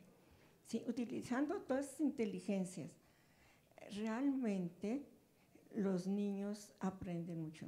Ayer se hablaba del arte, la cultura. Bueno, estas eh, nuevas eh, técnicas educativas mezclan el arte, la gimnasia, todo, ¿sí? Y disparan la creatividad. Entonces, lo que tendríamos que tener también son los instrumentos para medir el desarrollo de estas competencias. Y ahí podrían salir programas de investigación muy interesantes. Yo ya tuve la oportunidad de hacer uno. ¿Qué pasa con los que no se les da estos nuevos métodos y con los que sí? Y los resultados, bueno, ni se los, ni se los puedo comentar. Digo, no estoy aquí para eso, pero son muy impactantes. Muchas gracias. Teníamos otras eh, solicitudes de participaciones. Eh, les quisiera pedir a los integrantes de la mesa si permitimos que cinco personas formulen sus preguntas y si todavía hay necesidad, eh, abrimos una segunda ronda de preguntas. Había otras manos por aquí levantadas. Por favor, Avi, de este lado. Sí, ¿qué tal? Muchas gracias. Buenos días. Bueno, aquí más que una pregunta es una reflexión en relación a em, la autonomía que se pretende dar a las escuelas normales. Les platico desde nuestro eh, acontecer en la Escuela Normal Superior José Medrano de Chihuahua. Somos una institución em, pues prácticamente autónoma, un organismo público descentralizado donde no recibimos ningún tipo de apoyo de gobierno. Eh, toda nuestra planta docente se contrata por honorarios, entonces es de alguna manera una de las desventajas que, que tenemos al ser autónomos, que no nos quieren absorber como, como tales. Entonces, el único maestro pagado por gobierno es el director, nuestra directora. Entonces, eh, de alguna forma, eh, creo que debemos de cuidar y analizar muy bien todas estas aristas que conforman o que llevarían ¿no? el, ser autónomo a, las escuelas normales. Em, y por otro lado, pues la reducción que hubo ahí para recursos, específicamente normales, pues nos pegó tremendamente a nosotros, porque pues prácticamente subsistimos de los recursos que, nos ofrece Pacten y este, el gasto corriente que se, que se gasta dentro de la institución, pues mm, eh, sale de la colegiatura que pagan nuestros alumnos. Entonces sí es pues una, una recomendación ustedes que, que, tienen la posibilidad de analizar estos puntos y de llevarlo específicamente a las mesas de propuesta, analizar específicamente todo lo que conllevaría el que las escuelas fueran autónomas en ese sentido, sobre todo en lo económico. ¿Alguien más? Agradecemos a los compañeros de Chihuahua que nos, han venido a visitar y han venido específicamente a este foro. Muchas gracias por acompañarnos. Por favor, Carlos. Sí, buenas, buenas tardes. Primero que nada, agradecer a Alá y los ponentes por los comentarios que han vertido en este foro. Serían tres, tres preguntas para ver si hay manera de integrarlas con, con sus aportaciones. La, primera de ellos, eh, ustedes mencionaron de diferente manera la importancia de tener eh, una, visión de docencia de Estado, y que normalmente se puede confundir con una visión de gobierno. Entonces, frente a esto y para tener una directriz en lo que ustedes han discutido, ¿cuáles serían esos principios orientadores de una visión de Estado sea desde el ámbito de la economía, sea del ámbito educativo, sea desde el ámbito pedagógico o incluso desde el ámbito de la sociología de la educación, para tener como los ejes rectores de esa visión. La segunda, eh, comentaba el, el doctor Leonel, la necesidad de construir una política de investigación vinculada al contexto. Creo que ahí hay un eje nodal y la pregunta sería, ¿cómo podríamos establecer en la construcción de redes con otras instituciones esa posibilidad de desarrollo? Me refiero muy particularmente a las universidades, que a lo mejor hay esfuerzos realizados, pero de manera aislada, entonces ¿cómo podríamos avanzar hacia esa, a esa construcción de una red para la construcción de este tipo de orientación que se mencionaba? Y la tercera pregunta eh, está relacionada con dos elementos de tensión, siguiendo un poco el planteamiento que hace la, profesora, externos a todas estas cuestiones. Uno es la falta de financiamiento, aunque lo mencionaron por ahí, y lo segundo es el lento crecimiento que tiene la economía y que hace una contracción fuerte de los mercados laborales. ¿Qué opinión tienen al respecto? Muchas gracias. Eh, dos más, el compañero había levantado la mano y eh, de aquel lado, bueno, y concluimos con Ruth en esta primera ronda. ¿Les parece bien? Este, hola, buenos, buenos días. Eh, primero quiero agradecer a los ponentes, sus aportaciones realmente me parecen muy significativas. actualmente yo soy docente de educación media superior y yo soy de esos docentes que entraron a través del servicio profesional docente durante hace unos seis años estaba yo interesado en la, en la docencia y fui a un, al colegio de bachilleres donde había estudiado, al colegio del plantel 4, eh, para tratar de ingresar. Sin embargo, vi este, una imposibilidad, eh, como ciertos cotos de, de, poder que, que, impedían el acceso. Y bueno, cuando, cuando viene la reforma, veo la oportunidad de poder ingresar a la docencia y, bueno, eh, hay tres niveles de los exámenes, ¿no?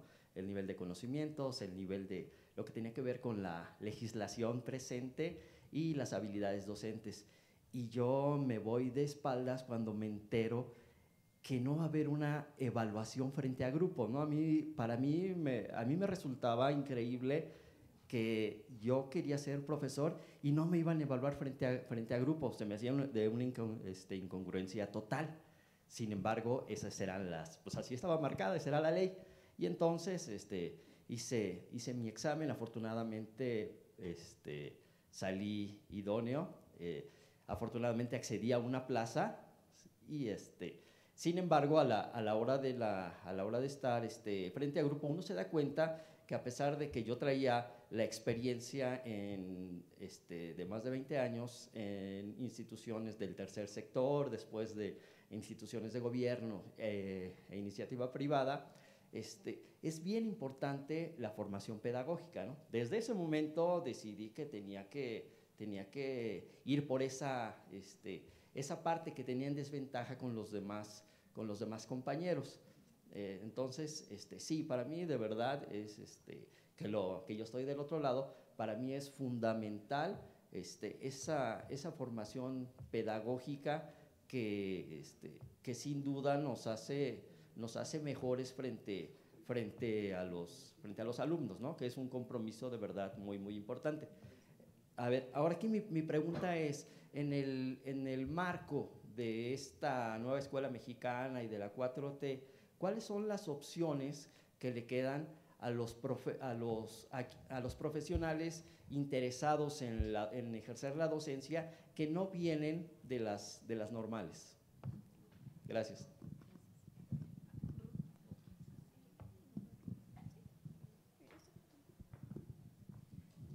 Gracias, buenos días. Bueno, yo estoy interesada en, en, en la educación secundaria y mm, en concreto me gustaría preguntarles a la doctora, que es los eh, eh, exponentes, em, si bien, digamos, todas estas ideas que están no son nuevas, no son nuevas, vienen del proyecto de transformación desde eh, la reforma de los 90, 93, 96, me causa ruido esta parte de, en principio les pedían a los profesores de educación básica y en concreto de secundaria ser eh, maestros investigadores, cosa que está presente, sigue estando presente en esta reforma.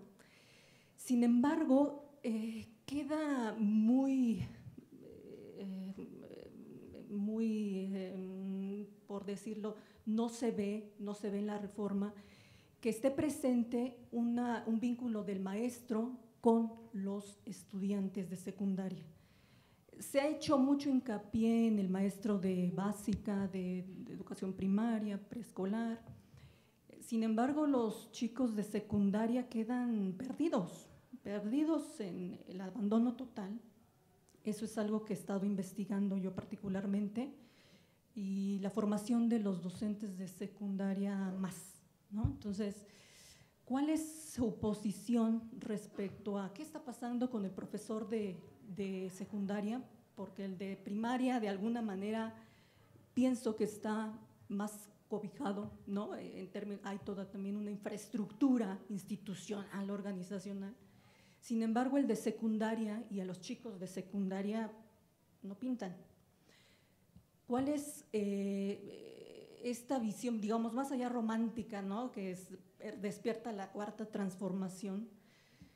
Respecto a la formación de estos, de estos eh, docentes y la formación de los formadores de, estos, de estos colectivos que están en el abandono, ¿no? Entonces, a mí me gustaría preguntarles sobre eso y, el financiamiento, porque tiene que ver con, eh, de alguna manera, ¿qué les queda a ellos? O sea, de la cobija que les están dando, ¿qué les queda a ellos? Cosa que estamos dando por sentado que pues ya la educación básica eh, obligatoria está dada y vamos a pasar eh, a la media superior y la superior. Pero ellos se están formando para los que van a entrar a la, a la media superior, ¿no? Y no hemos completado tampoco la educación obligatoria. Gracias. Vamos a la última pregunta de esta ronda. Gracias, Abby. Ruth. Gracias, solo es muy breve. Son dos comentarios una para la doctora Alejandra A mí me gusta cuando se refiere a la noción de tensión porque nos puede explicar mucho, ¿no? Este jaloneo entre dos fuerzas que, está presente y que a veces es imposible negociar o llegar a un punto de acuerdo. Pero yo creo que estas menciones, estas tensiones que mencionó en su exposición responden a una tensión mayor que es la imposibilidad de establecer un diálogo congruente con el Estado o el gobierno, em, en palabras de quienes representan para mejorar verdaderamente la educación superior. En la exposición de ayer de la doctora Carmen, bueno, yo estoy sorprendida de lo que nos presentaba y nos decía eh, que ella cree y considera a través de su modelo de los ejes de transformación para la educación superior que ya no es posible pensar que llegue un maestro con su libro eh, a dar la clase. Que lo que realmente se tendría que hacer es que todos tuviéramos una tableta y entonces meternos a esta idea de innovación pedagógica. O sea, no sé por dónde va eso, hay mucha investigación, como lo dijo Angélica, que ha hablado al respecto y el gobierno tiene un, bueno, no sé si expresarlo en términos del gobierno o el Estado, un discurso poco justificado y que llega a buenos deseos. Porque yo también desearía tener una tableta y desearía tener una computadora y que todos los niños que estudian en los pueblos indígenas la tuvieran pero eso es una opinión poco justificada. Y creo que desde ahí pudiéramos hablar de una tensión, como lo decía yo, desde el gobierno y la, y, eh, la educación superior. Y el otro comentario es para el doctor Leonel, que yo estoy de acuerdo contigo de que no existe un ambiente en el que se respire un ambiente de investigación. Esto lo referías tú como en el tema de las normales, pero tú que eres profesor de la UAM Xochimilco, ¿tú crees que tenemos un escenario, un espacio donde se respire la investigación? ¿Me puedes dar tu comentario cómo lo ves tú aquí en la UAM? Gracias. Muchas gracias. Eh, si les parece bien, vamos respondiendo en el orden en el que presentaron, doctor Mario. Muchas gracias. Te paso el micrófono. Bueno, yo eh, primero quisiera comenzar un poco con esta propuesta de autonomía que, se ha, que ha pedido el Congreso Nacional de Escuelas Normales yo creo que aquí hay como varios niveles, entre otros que las escuelas normales, la rectoría de las escuelas normales, de las 260 escuelas normales que hay en el país, depende de cada una de las entidades de la República. Cinco dependen directamente del gobierno de México y eso no ha ayudado nada, porque los 80 millones de pesos que se les han destinado a las escuelas normales en los últimos tres años no les ha llegado un peso, por un problema burocrático ahí administrativo, ¿no? Entonces a ellos no les ha ayudado, pero, pero esas otras 260 dependen directamente de cada uno de los estados de la República y la ley sí es muy clara en los niveles de participación o de concurrencia de los diferentes niveles de gobierno. Y en el tema de la educación es, depende del gobierno del Estado. ¿no? Entonces, aquí eh, eso por un lado. Y por el otro lado sí se han explorado estas figuras de organismos públicos descentralizados de decretos de creación estatales, administrativos incluso por parte de los gobernadores de los estados, eh, pero asegurando los, los fondos eh, o la, la, participación del gobierno estatal en el financiamiento de sus escuelas. Que eso, déjame decirte, este, sería novedoso también, porque la mayor parte de las 265 escuelas normales del país no recibe fondos estatales o muy pocos. La forma en la que se mantienen en realidad son con participaciones eh, de recursos propios, lo que pagan los estudiantes. Entonces, sí, sí se está explorando. En el tema de la autonomía eh, curricular, ahí sí hay que hay un buen avance, porque la propia reforma al artículo tercero sigue conservando la atribución de exclusividad para la construcción de planes y programas de educación básica y de educación normal a la Secretaría de Educación Pública, pero abre una buena eh, brecha ahí de trabajo en la flexibilidad y en la construcción desde lo regional y lo local del propio currículo. Entonces, una de las decisiones del Congreso Nacional es que haya un porcentaje mínimo de currículo nacional y que el resto sea de construcción local y eh, regional y local y que eh, responda a las demandas o a las necesidades educativas de cada uno de los lugares. Entonces, eh, eso por un lado. Por el otro lado, en el tema de, la, de los autogobiernos o de los procesos de selección de directivos en las escuelas normales, yo creo que eso sí es fundamental y ahí el Congreso ha sido muy claro de poder eh, tener procesos de, selección eh, de los cuerpos directivos donde participe la comunidad y eso. ¿no? El tema de los maestros es igual, el reglamento de ingreso, promoción y otorgamiento de estímulos no es una, una atribución del gobierno de México, es una atribución de los gobiernos locales, como está ahorita la ley. Hay un reglamento de ingreso, promoción y otorgamiento de estímulos que solo aplica a las escuelas normales de la Ciudad de México y que no es vinculatorio para el resto de las escuelas normales del país.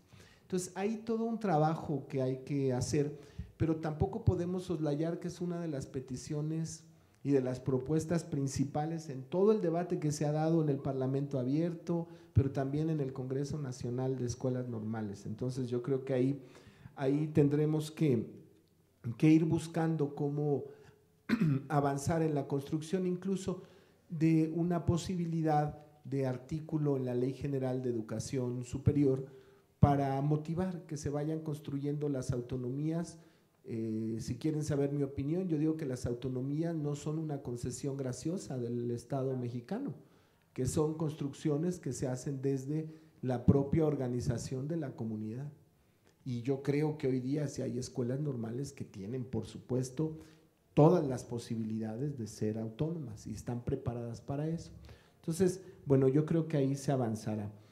Eh, en el otro tema, a mí me parece que esto de las políticas de gobierno sí es importante y la idea de trascenderlas desde las escuelas normales es blindándolas con la participación de la comunidad normalista. Es decir, construyendo verdaderas políticas de Estado a través de la participación pública.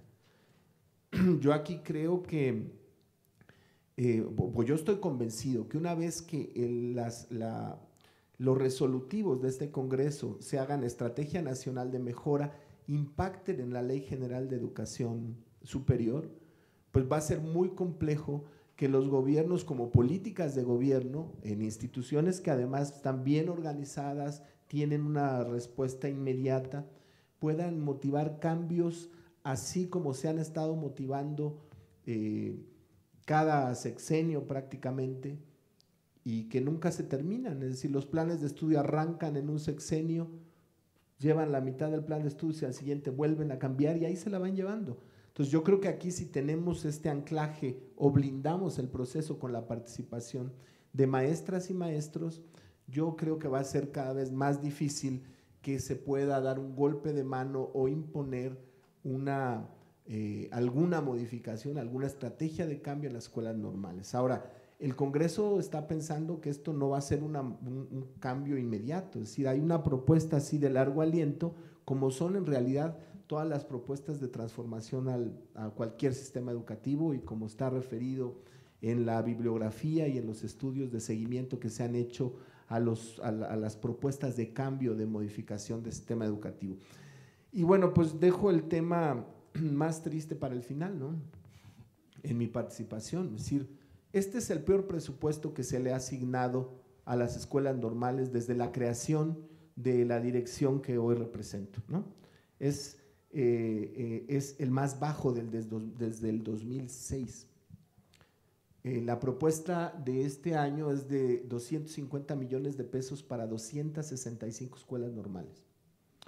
Eh, el presupuesto de la Dirección General de Educación Superior Universitaria hoy día es de 40 mil millones de pesos. Evidentemente, hablemos de matrículas. Si las normales tienen 90 mil y las, una, una universidad la que yo conozco, la Universidad Michoacana, tiene cerca de 40 mil estudiantes, pero ellos tienen subsidio por alumno, las normales no. O sea, las normales reciben un presupuesto que se llama Programa de Apoyo a la Calidad Educativa y Transformación de Normales, que va a cambiar de nombre, pero que son fondos federales. Y ese presupuesto es ordinario, extraordinario, es todo. Concursable, lo que quieran, pero es el mismo presupuesto. Entonces, yo creo que ahí sí hay un trato desigual a las escuelas normales. Y a mí sí me parece que la política pública, ¿no? que la política de Estado se debe traducir en inversión pública. Porque si no se traduce en inversión pública, entonces no vamos a avanzar por ningún lado. Entonces, nosotros estamos, eh, bueno, además la ley impide a los servidores públicos pelear el presupuesto, que finalmente el presupuesto, quien presenta el presupuesto es la Secretaría de Hacienda y nosotros somos partes del, parte del gobierno, entonces no podemos hacerlo. Pero sí que lo están haciendo las autoridades educativas en las entidades y sobre todo las delegadas y los delegados al interior del propio Congreso Nacional. Eh, próximamente tendrán una reunión eh, con el diputado presidente de la Comisión de Presupuesto, el diputado Alfonso Ramírez Cuellar, y bueno, pues le plantearán este tema, pero que está como muy facilito de entender, digamos, ¿no? Toda esta responsabilidad y todo esto que, sea, que hemos aquí en la mesa conversado, no tiene su traducción en la forma en que se ha tratado a las escuelas normales históricamente. De verdad que lo que decía hace ratito eh, la doctora eh, Ábalos es cierto.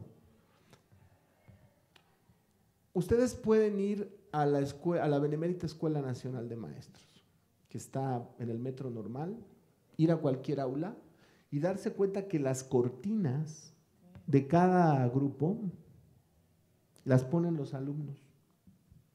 Cada año los alumnos se cooperan para comprar tela y ponerle cortinas a su aula, porque no hay inversión para eso. Esa escuela normal no tiene internet, no hay internet libre. Y es una, es un, o sea, es la escuela normal, es la escuela normal que cuando se pensaba, digamos, en este país, ¿no? que la formación de maestros tenía esa traducción arquitectónica que hizo Mario Pani, el mismo que hizo Ciudad Universitaria, que tiene este, ahí eh, eh, algún trabajo, algún mural de José Clemente Orozco, etcétera. Es decir, es la escuela normal de este país y está cayéndose. Entonces, lo que dice la doctora es estrictamente cierto. Entonces, sí hay un trato muy desigual, ¿no? Es decir, sí en las manos de las maestras y los maestros de las escuelas normales está eh, la posibilidad de en verdad transformar el sistema educativo y eso, pues sí, pero no hay recursos.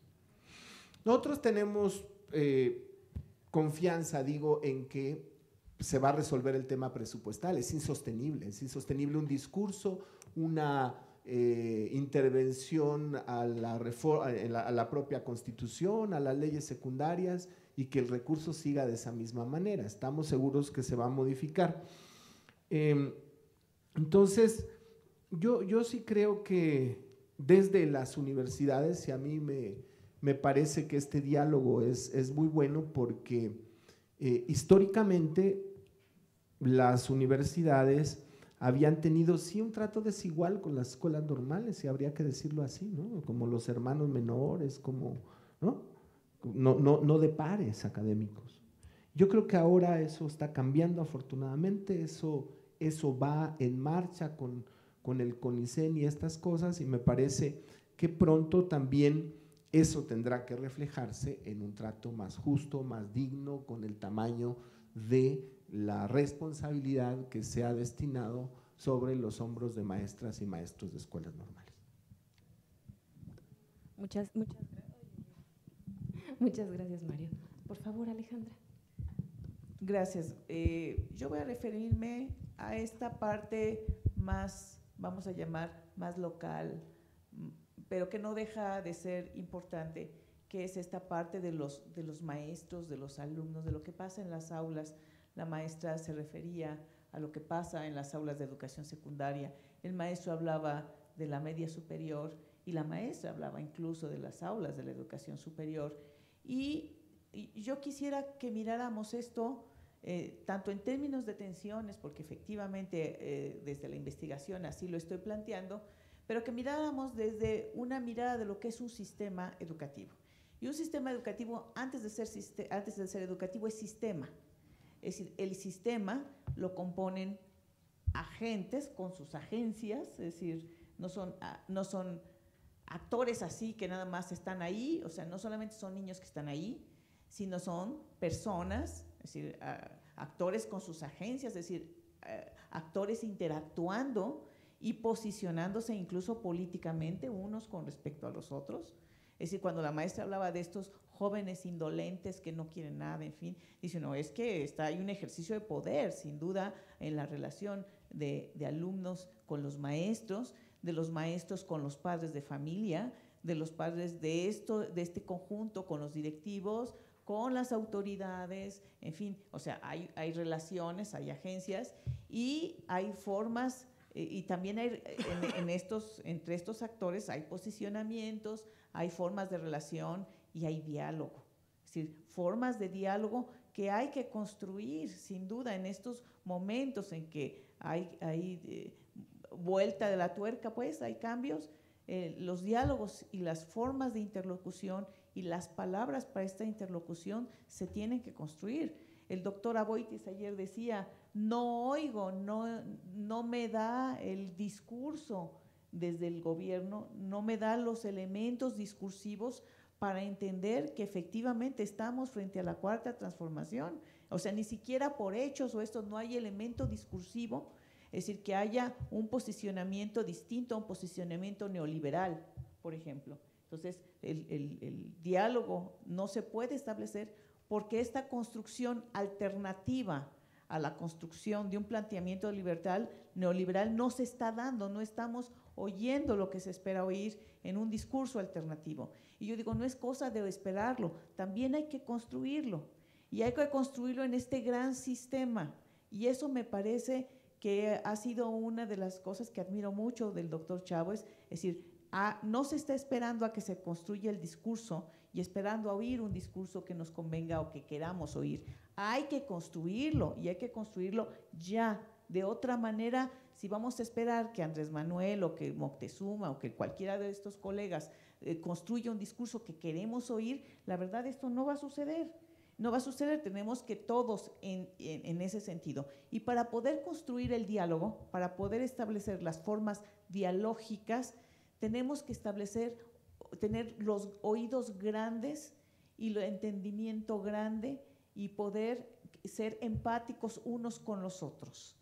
Es decir, tener un amplio entendimiento. Cuando yo decía cuando Abril, lo, siento por decir esto a los compañeros, pero la verdad cuando yo me sentí seriamente trastocada porque ustedes, los alumnos de esta escuela, no se levantaron cuando su rector inauguró esta sesión, era porque yo decía, hay una falta de diálogo, hay unos oídos sordos a, una interlocución que se tiene que establecer en diferentes escenarios de diferentes maneras.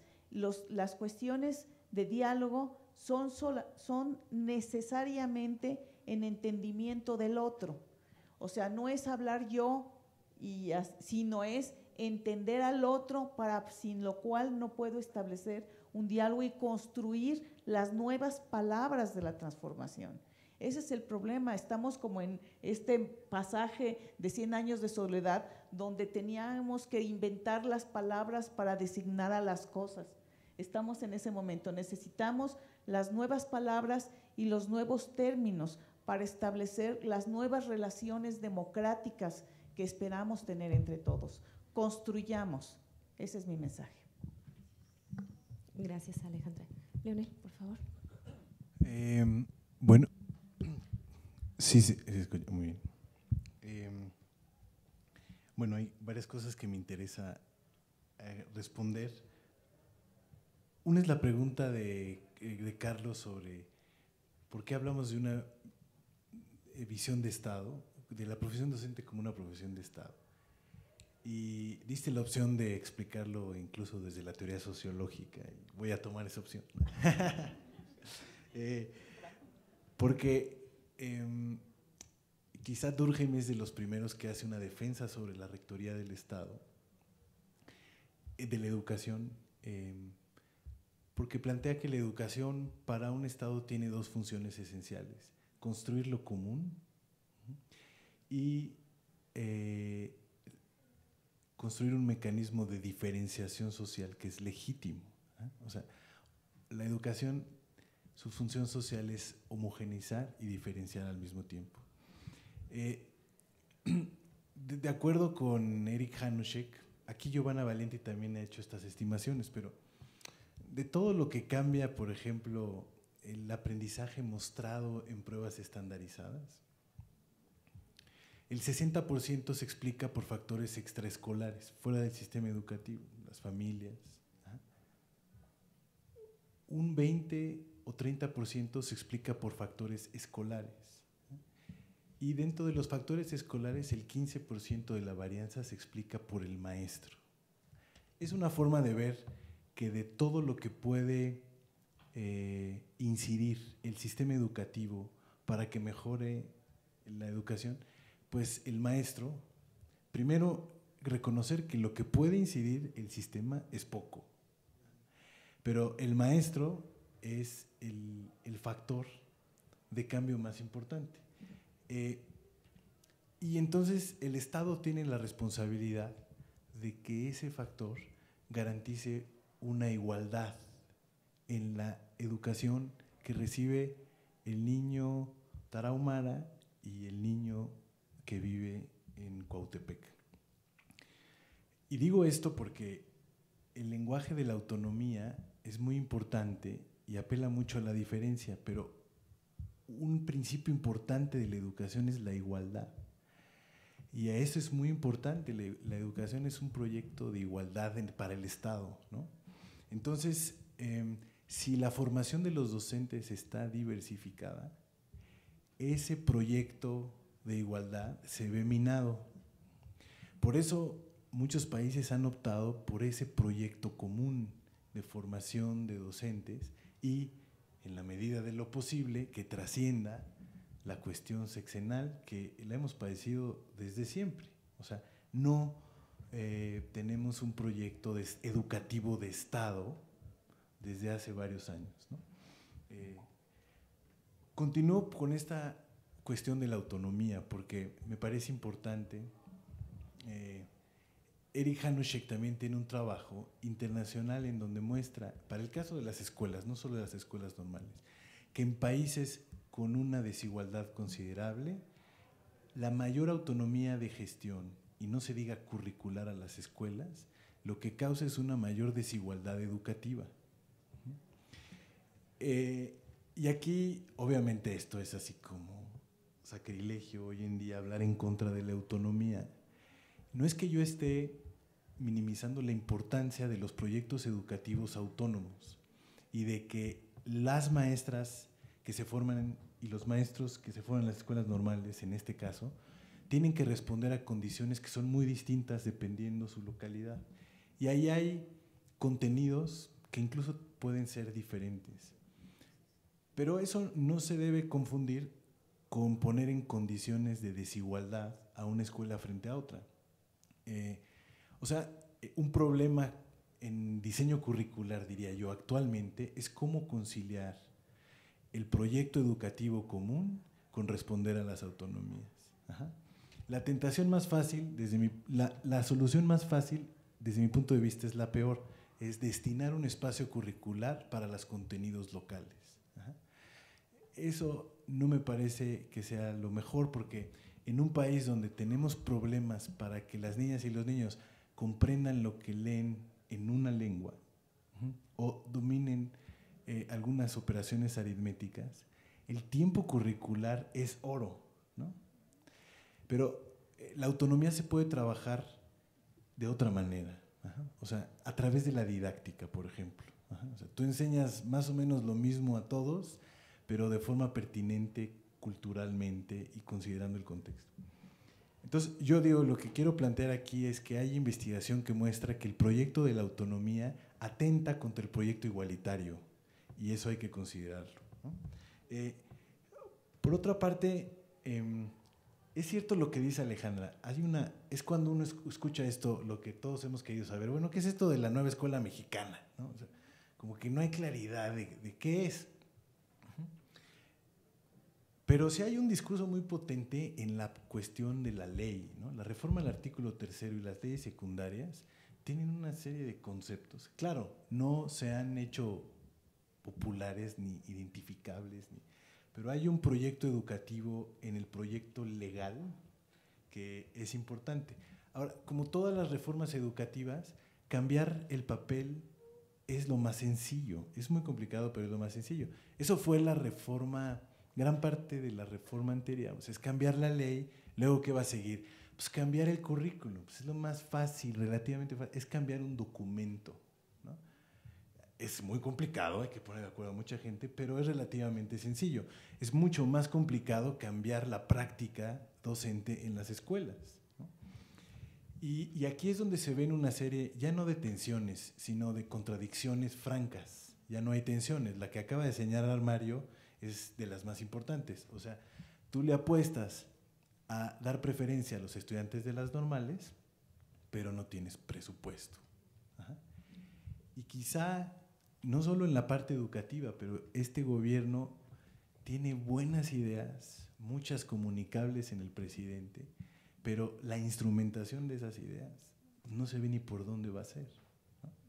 Entonces, eh, del papel, de lo que se cambian las reformas en el papel a lo que se cambia en la práctica, eso implica decisiones de política muy, muy, muy puntuales, como la que señalé hace rato. ¿Quieres que haya un maestro investigador?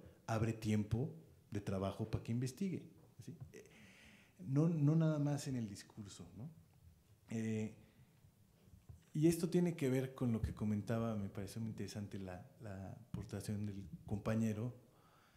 Eh, hay un proyecto, eh, o uno hubiera esperado un proyecto de desarrollo profesional docente muy claro de este gobierno. Pero se ha optado por una idea de actualización, más o menos en la lógica de los cursos, que ya sabemos que nunca ha funcionado, y que tenemos investigación muy seria que los programas de desarrollo profesional docente que mejor funcionan son aquellos que están centrados en la escuela y con la participación de los docentes.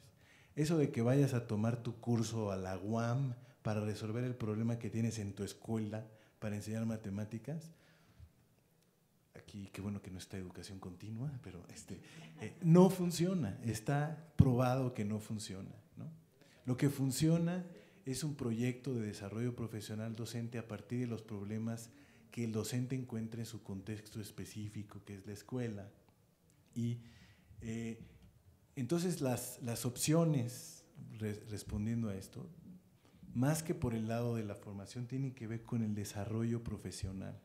Y aquí, otra vez, la ventana que abre la idea de la mejora continua de la educación, hasta ahora, bueno, es eso, una, una ventana, ¿no? Pero debería ser una ventana para un proyecto serio de desarrollo profesional.